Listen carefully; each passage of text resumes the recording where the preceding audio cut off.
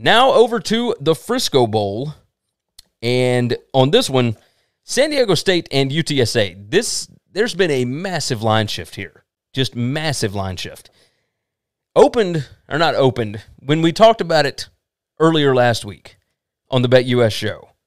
Sincere McCormick, the running back for UTSA, had not opted out of the game yet. And before he opted out, UTSA was a two and a half point favorite. And now that he has opted out, when I looked at the line just before recording, UTSA is now a two and a half point dog.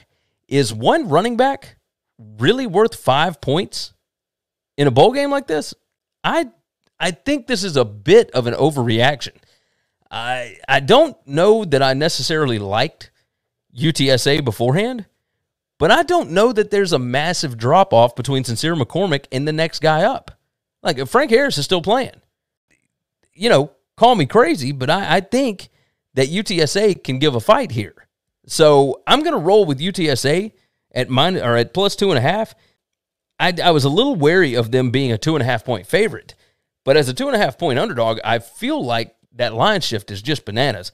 On uh, on this one, here is our gift package for them, a gift suite, which again, I don't like it when it's the only thing that you're getting, but I'm okay with it when you got all this other stuff, right? They also get a Herschel backpack, a Justin cowboy hat, big game autograph football.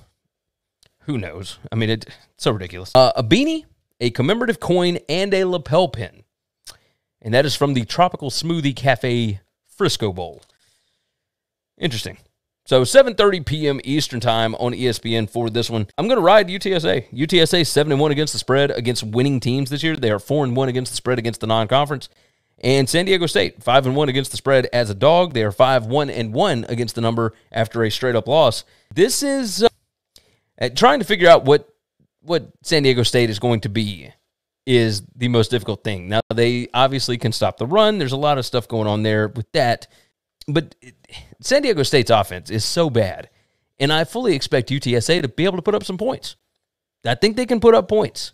And if they can, and SDSU cannot, that's the way I'm looking at this. So I'm uh, I'm gonna ride UTSA plus the two and a half for our pick'em here. Thanks for listening to the Winning Cures Everything podcast. The website is winningcureseverything.com, and if you want to connect with us, we're on Twitter at Gary WCE, at Chris B. Giannini, at Winning Cures, or you can email us, Gary at winningcureseverything.com or Chris at winningcureseverything.com. Subscribe everywhere you need to subscribe, and we'll see you soon.